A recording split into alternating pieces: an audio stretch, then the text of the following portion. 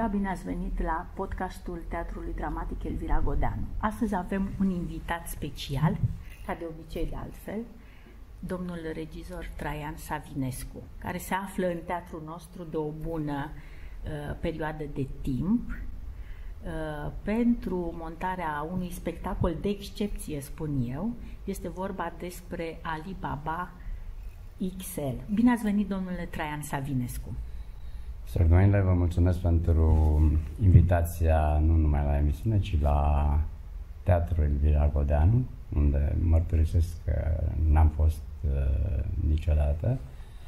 Iar faptul că uh, am fost invitat să montez un spectacol uh, mă onorează și mă face să dau tot ce pot uh, mai bun pentru finalizarea acestea. Că suntem într-o fază, să zicem așa, de, de finalizare, în, în faza de avant-premieră, mă rog, chiar dacă mai avem după aceea o, o scurtă perioadă de timp. Noi suntem onorați de prezența dumneavoastră, de faptul că ați acceptat să veniți în teatrul nostru, uh, să lucrați cu trupa noastră.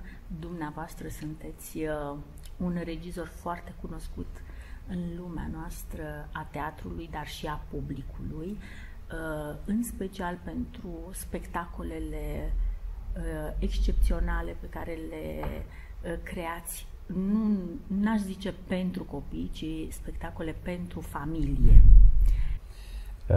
Cât privește zona de spectacol în care eu mă simt foarte bine, zona spectacolului pentru copii, pentru familie.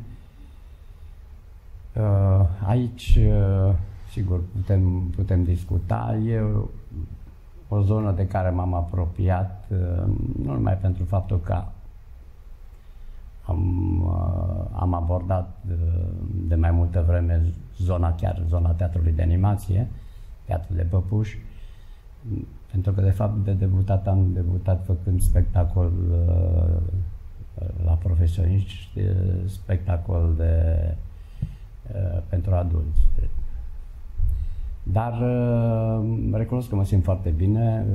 În această zonă îmi permite să am o, o abordare foarte senină, foarte liberă, în același timp, în care, să zicem, știința teatrului se combină cu cu libertatea zburlalnică a imaginației copiilor. Și atunci uh, zic eu întotdeauna spectacolele mele întrunesc și calitatea artistică și pe cea de comunicare foarte, foarte bună cu, cu publicul meu. Aș vrea să vă prezint uh, spectatorilor noștri. Dumneavoastră sunteți arădean, v-ați născut în Arad și ați început, uh, pentru că ați absolvit mai multe facultăți, ați început cu o facultate de chimie.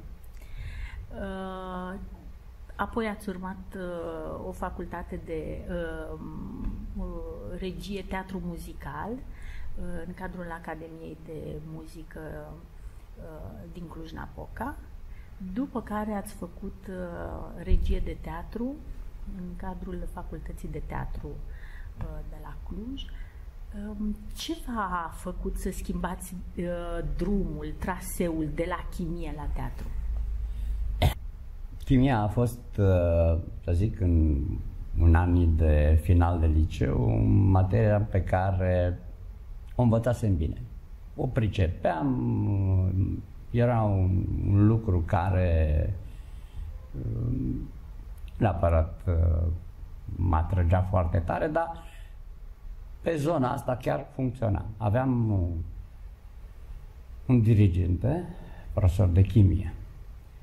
Și faptul că acest uh, mare profesor uh, era mai mult decât un profesor de chimie, pentru că, vreau să vă spun, la ore de dirigenție ne recita din uh, Uh, din poeți interbelici, uh, mă rog, în anii aia era, exista și o libertate mai mare de exprimare, dar uh, era o, un domn uh, cu, cu multiple pasiuni colaterale, să zicem, și cred că asta a creat în jurul lui un, un tip de relație cu elevii, să zic, specială. N-am avut niciodată 10 la chimie, deși eram participant la festival, la concursurile de specialitate, olimpiade și mai departe. Dar de fiecare dată mă pocnea cu câte un 10 după concursurile astea, pe care între timp mai făceam rebus, asta era o pasiune de-a mea de tinerețe, pe care o mai am și acum. Și atunci când s-a pus problema ce facultate, așa se punea problema, ce facultate de urma, am uh, ales chimia și evident uh, pentru că aveam niște rude în, în Cluj, am mers la Cluj. Pe toată durata facultății, orașul a fost un, o, o, o mare atracție și recunosc că foarte mult am învățat chimie după ce am terminat facultatea. Dar am făcut-o foarte, am făcut-o temeinic, pentru că concursurile de grade didactice erau foarte dure. Erau realmente dure și am făcut și am parcurs aceste etape ca un uh, student uh, extrem, extrem de uh, aplicat. Așa că după ce mi-am dat niște grade profesionale, am și optat pentru un liceu din Cluj, mă rog, exista etapa aceea că te duceai la post, după aceea încerca să te apropii de, de orașul care îți plăcea sau care te atrăgea, cazul meu era Clujul, și a durat un pic până am ajuns să mă titularizez chiar în Cluj și chiar la liceu de chimie, ceea ce uh, m-a făcut ca o bună perioadă de timp să lucrez uh, la un ridicat nivel profesional pe domeniu.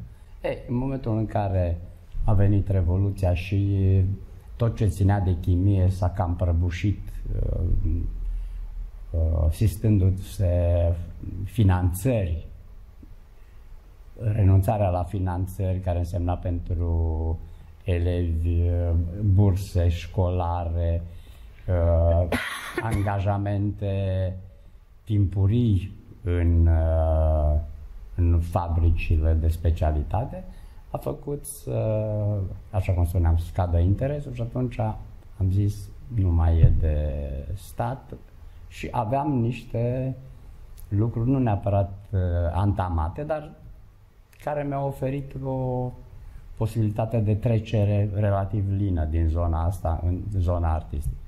Respectiv, eu și în perioada aceea cântam într-un cor de amator, dar foarte bun. În aceeași perioadă am ajuns să colaborez cu corul Academiei de Muzică dintr-o postură de neabsolvent de muzică la ora respectivă. Și încet, încet am mers cu, această, cu acest paralelism între zona chimiei și zona artei, frecventând foarte mult uh, teatru, opera, filarmonica din Cluj în toată perioada asta.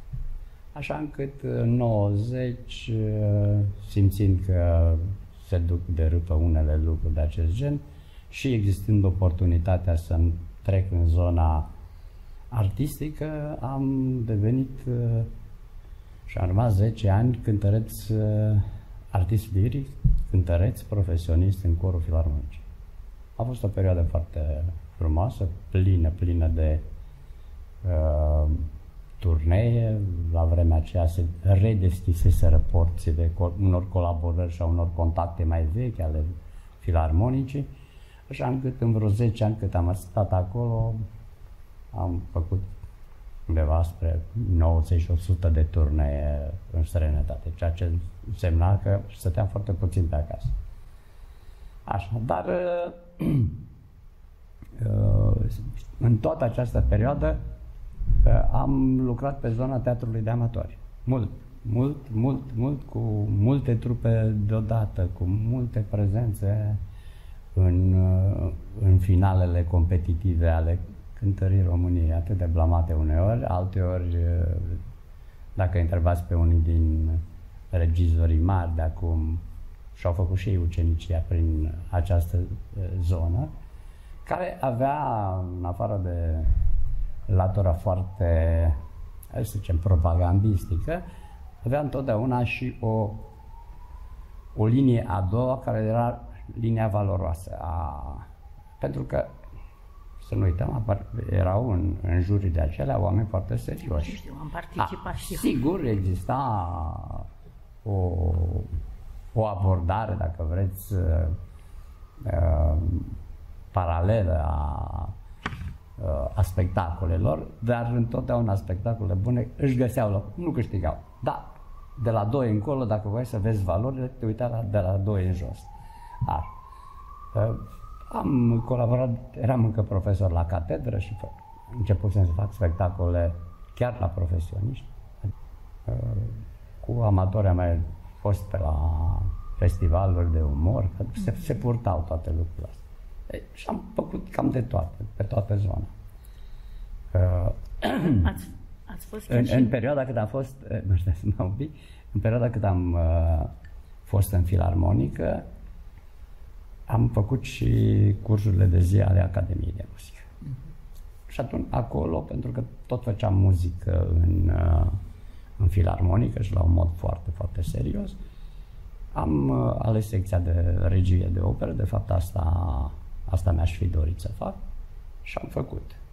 Iar după ce am terminat-o, am zis să încerc să văd cum ar fi și cu regia de teatru. De fapt, la un moment dat am mers în paralel cu el și cam lămurindu-mă cum a fost, la un moment dat, uh, luându-mi licența în partea cu muzica, asta la alta am întrerupt-o.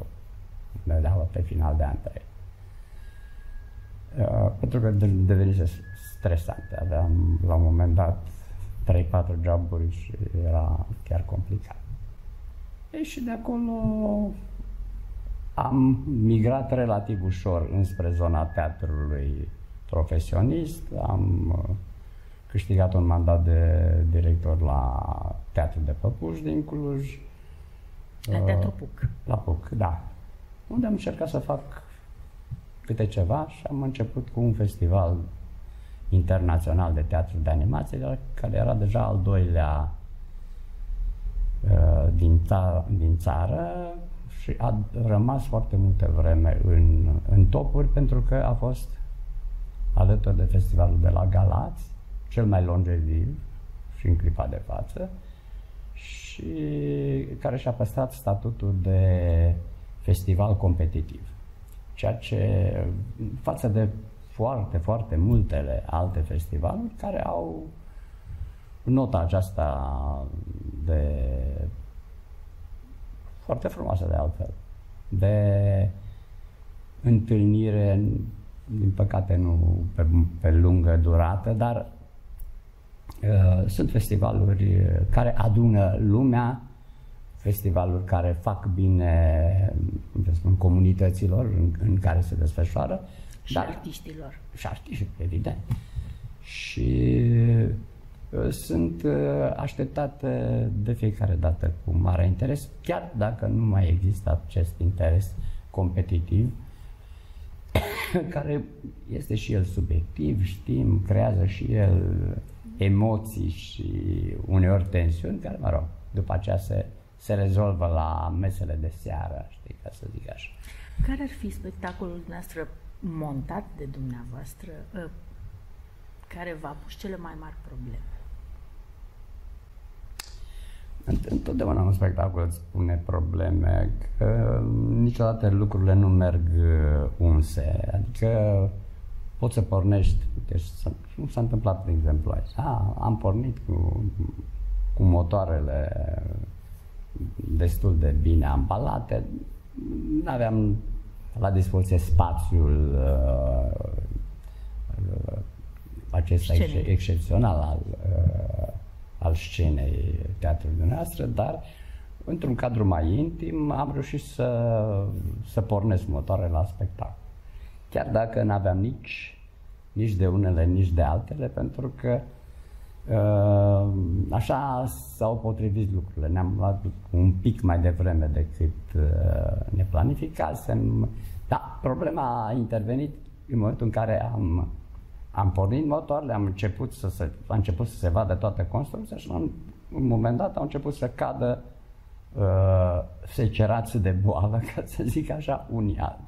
Ei, asta a dezechilibrat imediat uh, lucrurile și din, dintr-un, uh, din niște repetiții pe care le vedeai, zice, a, în următoarele 10 zile pot să ies cu premiera, au, stop, hai, o luăm de la asta, încercăm să înlocuim, încercăm să facem.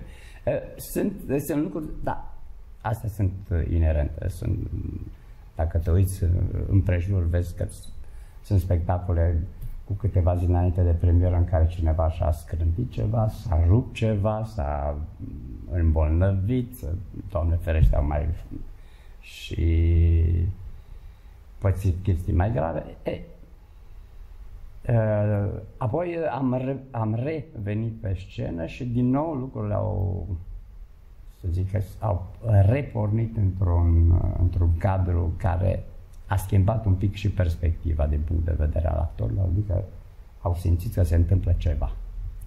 Acolo era un lucru mai mult, să zic, de atelier, foarte bun de altfel, în care am reușit să-i cunosc mai bine.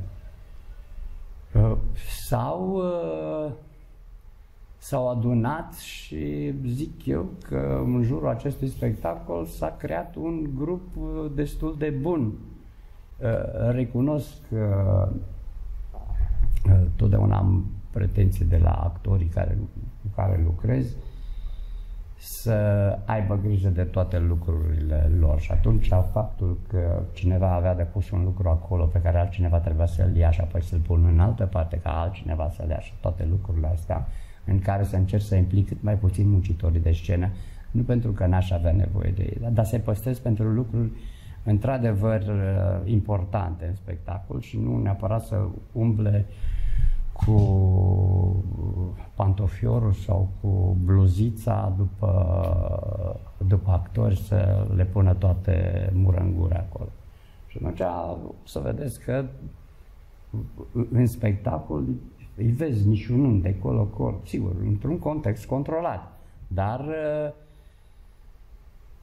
poate și tipul de spectacol pe care îl fac și aici toți directorii care am lucrat, au zis, a, vine Tran, ne umple de obiecte, ne umple de recuzi. E adevărat, e adevărat, uh, îmi plac, îmi plac obiectele foarte mult și, consist, uh, și constat, de fapt, că foarte mulți actori nu știu să lucreze cu obiectele. Au rămas la o fază nu neapărat clasică, aceea în care se declamă. Aia avea o, un rost al ei și, mă rog, ținea de o anumită epocă. Dar uh, foarte multe lucruri, uh, sigur, uneori și dintr-o sărăcie sau alteori dintr-o comoditate, se fac la nivelul ăsta declarativ. Ne spunem, ne batem cu pumnii în pernă, târâm, ne facem una alta, dar în momentul când depui un pahar în mână sau îi pui un obiect mai ciudat în mână, deja, deja nu mai știe ce să facă cu el sau dacă vreți, face cele mai banale lucruri cu el, deși obiectul în sine îți oferă și variante de abordare. E, acest lucru, de acest lucru eu mă ocup în mod foarte serios. Și o să vedeți foarte multe obiecte care își, cum, cum o narghilea devine... De altfel, să știți, vă mărturisesc că printre, nu numai printre actori, dar și printre oamenii de la tehnic de scenă, am auzit, dumne, e altceva, e alt, un alt tip de spectacol. N-am, noi n-am mai avut așa tip tipul ăsta de spectacol până acum. E altceva. Uh, ia câte că pe 11 uh, aprilie avem avantpremiera cu Alibaba XL și uh, pe 21 avem premiera. De ce ar trebui să vină oamenii să vadă? Nu numai, uh, nu numai copiii, dar și părinții lor. Păi, uh, dacă e să ne luăm după gura lumii foarte slobodă care e pe aici prin teatru, ar însemna că dacă e un alt ceva, e bine să vadă și altceva. altceva. Da? Uh, ceea ce cred că aș putea să le promit e că se vor simți bine la spectacol. Uh, dacă vin cu nepoței sau copii mai mari, sunt convins că starea de bună dispoziție a celor mici se va transmite și celor mari. Dacă vin fără ei, uh, vor descoperi că se poate face teatru mm, pe, pe limba tuturor și că ei înșiși, chiar dacă au o altă vârstă decât a copilăriei, uh, se pot simți atinși de ceea ce se întâmplă pe scenă. Uh, întotdeauna și faptul că spuneați de, de spectacole de tip family pe care le, le îndrăgesc eu foarte mult, este că un spectacol de acest tip are mai multe nivele de percepție și atunci uh, aceste nivele de percepție, dacă poți să aibă un public oricât de eterogen și de divers ca vârstă, că uh, diferitele nivele vor accesa diferiți uh, spectatori. Pentru cei mici, sigur, intriga trebuie să fie suficient de clară, mă rog, la, la nivel macro, ca să zic așa.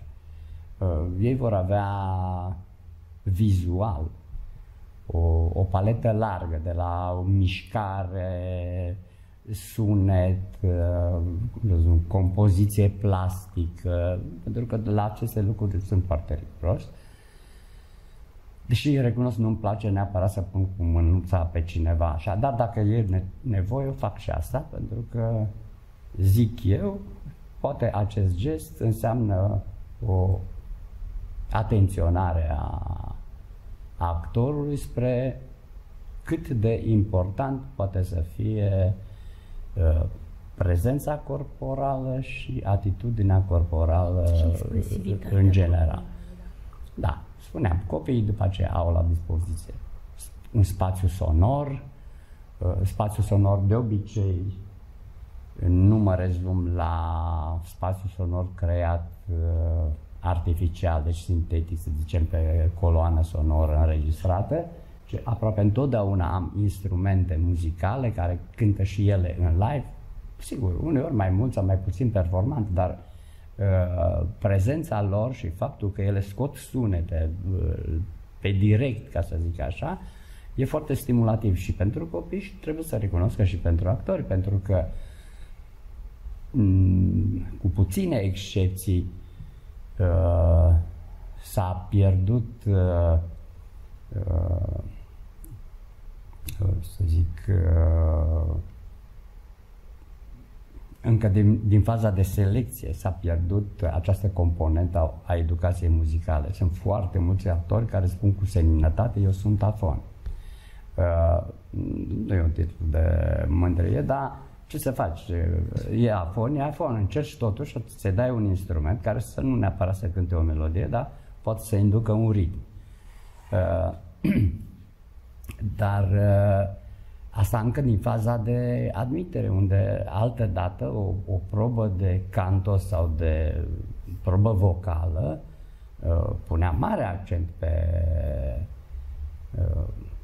pe capacitatea interpretativă la nivel uh, vocal. E, acum dacă găsești uh, uh, unul, doi actori de acest tip, imediat, rog, sigur, depinde de regizor, dar uh, imediat faci o, o lipitură și un contact în plus, da? o, o, o linie de comunicare. De aceea, zic să vină lumea pentru că eu cred că vor vedea lucruri deosebite și cam asta. De ce ați optat pentru titlul Alibaba XL?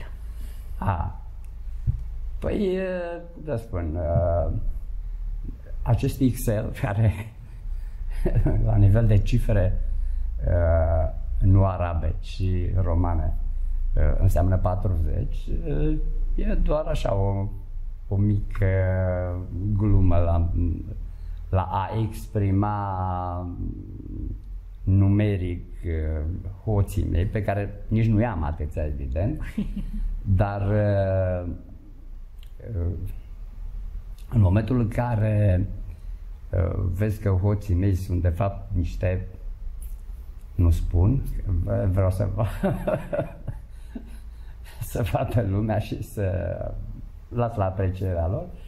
Uh, încerc să sugerez și o notă de modernitate, nu neapărat tehnică, pentru că Uh, e un spectacol așa, vorbind uh, în limite clasice. Cred totuși că uh, abordarea la nivel de concept este modernă și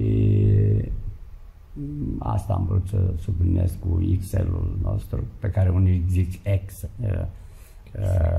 Excel și atunci Excel-ul te poate duce spre o altă zonă care e prescurtarea lui Excellence și așa mai departe, dar astea sunt speculații.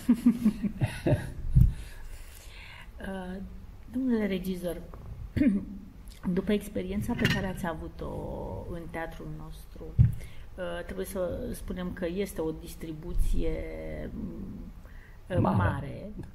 V-ați mai întoarce pentru un alt spectacol? Da, sigur că m-aș întoarce. Sunt, dacă, dacă experiența pe care ați avut-o vă motivează și ați dori, v-ați dori să mai lucrați cu, cu uh, trupa noastră, cu echipa tehnică, cu Da, uh, categoric da. Uh, acum, uh, noi știm că atunci când uh, am uh, pus bazele, să zicem, ale distribuției, erau am avut și niște uh, restrângeri, ca să zicem așa, pentru că o parte din, uh, din grup, da, urma să participe la, într-un alt proiect de colaborare. Uh, asta m-a și făcut să schimb într-un fel viziunea mea asupra spectacolului, pentru că de unde îmi imaginam că voi face un spectacol bărbătesc cu niște prezențe feminine, a ajuns să fie un spectacol uh, cu actori în care majoritatea uh, rolurilor erau jucate de femei și cu câțiva bărbați. Uh, nu, mi-a, nu mi-a creat probleme acest lucru pentru că uh, sunt un tip destul de flexibil și imediat am găsit, să zic, modul de a, de a vira la nivelul acesta și chiar la nivel de concept, pentru că uh, asta m-a făcut ca să abordez uh, această libertate de a juca rolul, feminin, uh, rolul masculin de către femei, fără absolut nicio conotație uh, modernistă asupra acestui tip de nici măcar travesti, ci imaginați-vă că la, la curtea sultanului, unde Uh, prezența feminină este mult mai mare. Nu? Dacă, dacă un grup de femei vor să joace în fața sultanului o poveste, evident că vor juca și rolurile uh, masculine, tot ele. Dar, Suntem la, într-o joacă, nu? Sigur că da. da este o, o joacă care se întâmplă sub bagheta regizorală, să zicem, a Șeherezade, care ea, ea spune povestea, îi spune o poveste sultanului, folosindu-se de cei din jurul ei. Și cum acolo sunt mai multe femei, o să fie mai multe cadâne care o să le recunoști că fac pe durele ca fiind uh, tâlhari și așa mai departe. Dar asta intră în convenția teatrală și nu cred că creează absolut nicio problemă de, de receptare și cu siguranță în niciun caz alunecarea spre știu eu ce alte interpretări. Nu. Este o abordare, zic, uh, teatrală, modernă, vizuală, uh, auditivă, deci, uh, zic, cu, cu toate toată artileria ușoară, grea și super grea a teatrului aici. Da, mi-ar face plăcere să revin și cu alt proiect. Vă mulțumesc foarte mult uh, pentru că ați acceptat să veniți în podcastul uh, Teatrului Dramatic Elvira Godeanu. Uh, aștept cu o emoție uh, avantpremiera spectacolului Alibaba XL. Uh, vă așteptăm în stagiunea următoare cu o nouă propunere uh, și, de asemenea, Vă doresc uh, succes și sănătate. Um, mulțumesc uh, pentru modul în care uh, ați lucrat cu trupa noastră, pentru liniștea și atmosfera pe, pe care ați dat-o echipei pe care ați uh, format-o în jurul dumneavoastră, dar și pentru liniștea mea ca manager, pentru că uh, uh, într-un fel uh, ați știut în modul în care ați lucrat uh, cu oamenii uh, să vă implicați uh, direct în multe dintre uh, lucruri și atunci uh, m-ați degrevat pe mine să spun de, de foarte, foarte multe uh, lucruri și vă mulțumesc foarte mult pentru, pentru asta. Uh, de fapt, eu am știut că veți ști foarte bine să uh, lucrați cu oamenii și mai ales că ați fost și manager și știți foarte bine ce implică uh, munca aceasta birocratică și cât de complicată este și cât, cât de mult îți mănâncă din timp hârțogăria pe care trebuie să o întocmești, să spun așa. Mulțumesc încă o dată, domnule Traian Savinescu, și vă așteptăm în stagiunea care vine. Să ne mulțumesc foarte mult și eu. Și pentru spectatori, haideți fraților, haideți să vă bucurați. Da.